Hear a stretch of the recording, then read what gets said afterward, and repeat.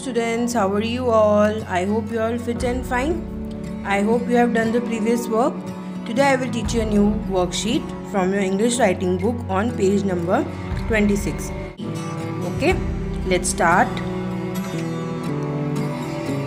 First you will make a slanting line, make another slanting line and sleeping line.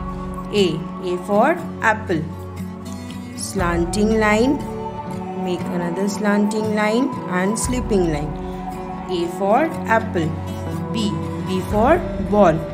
So make a standing line curve and make another curve.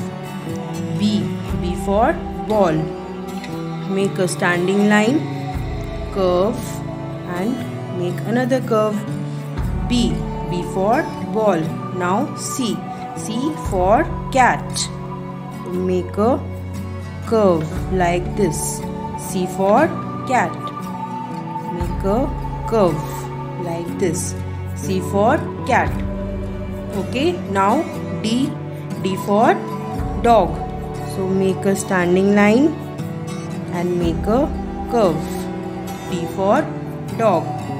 Make a standing line and make a curve. D for dog. A B, C and D. Okay, same way you will do in your writing book.